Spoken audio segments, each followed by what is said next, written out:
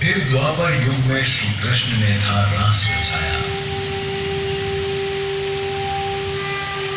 कर कंस का संहार प्रजा को सुखी समृद्ध बनाया।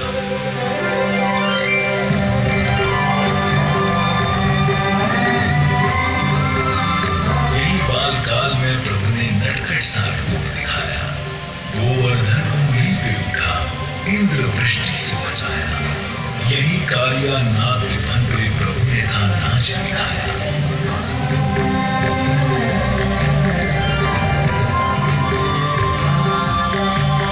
यही वो माटी है जिसने प्रभु का चरण स्पर्श करवाया।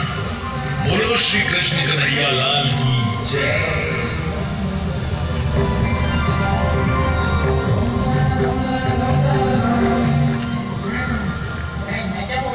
मैं अभी चुपचाप सुनता रहा यही ज़मीन थी हस्तिनापुर नाम के स्थान पर कौरवों का राज्य था यही की कथा रचकर वेद व्यास महाकवि कहलाया यही के राजवंश ने महाभारत सा युद्ध रचवाया फिर अधर्म पे धर्म की विजय ध्वजा लहराई कृष्ण के अवतार ने धर्म स्थापित करवाया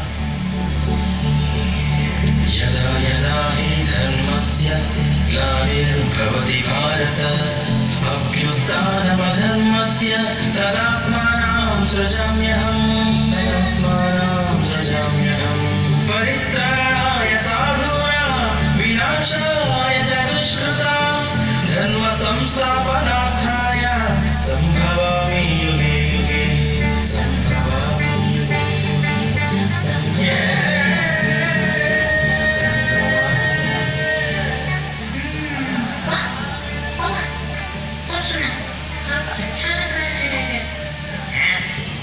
तू बस रह कुछ है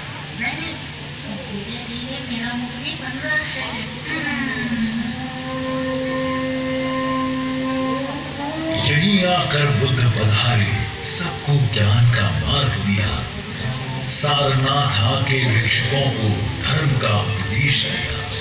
यही दिखा चमत्कार इसी धरा को था अलंकृत किया।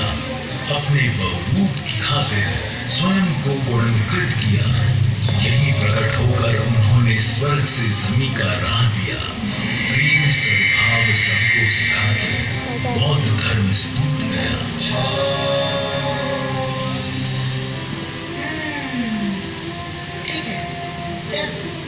है कुछ राजा महाराजा के बारे में सुनना चाहता हूँ।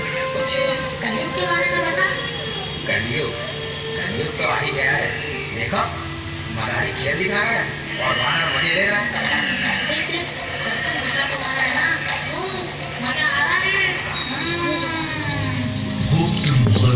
यहाँ कई सारे वंश हुए कुछ यहीं पर फूले फले कई यहीं पर विध्वंस हुए अपनी कला अपने साहित्य से सबने यूपी को सींचा कुछ ने दिलों में राज किया कुछ ने बस सीमा खींचा।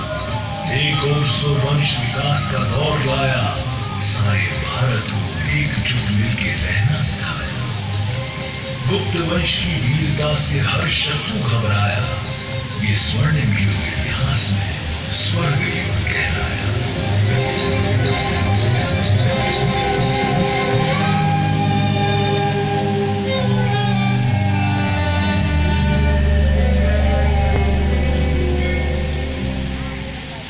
यहाँ अगर धर्मों की बात करें तो हिंदुत्व के अलावा मुस्लिम और सिख ईसाई समुदाय की जनसंख्या भी काफ़ी अच्छी है। अर्थात सभी धर्मों के लोग यहाँ निवास करते हैं।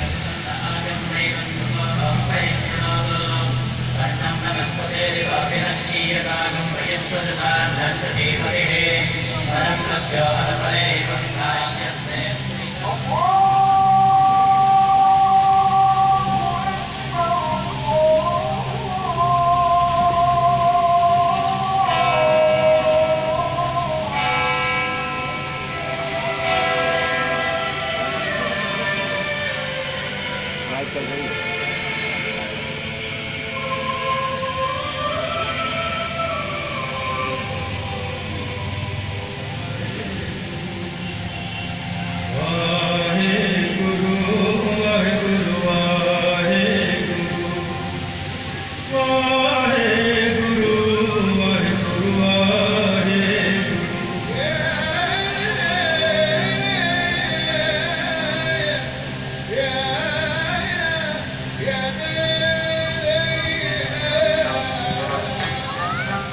मुगल ताजमहल, बाबर, हुमायूं और अकबर के रूप में इस मुल्क को अनेक सशक्त शासक मिले, जिन्होंने अपने कुशल शासन और नेतृत्व से हमें कला और वास्तु के बेहतरीन एवं नायाब हीरे दिए।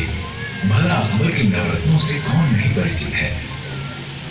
मुगलों ने न केवल कला पर ध्यान दिया, बल्कि उनका झुकाव यहाँ की बुनियादी विकास एवं वास्तुकला पर भी था। और इसी मुगल वास्तुकला का बेहतरीन उदाहरण है ताजमहल। ये मुगल बादशाह शाहजहां द्वारा उनकी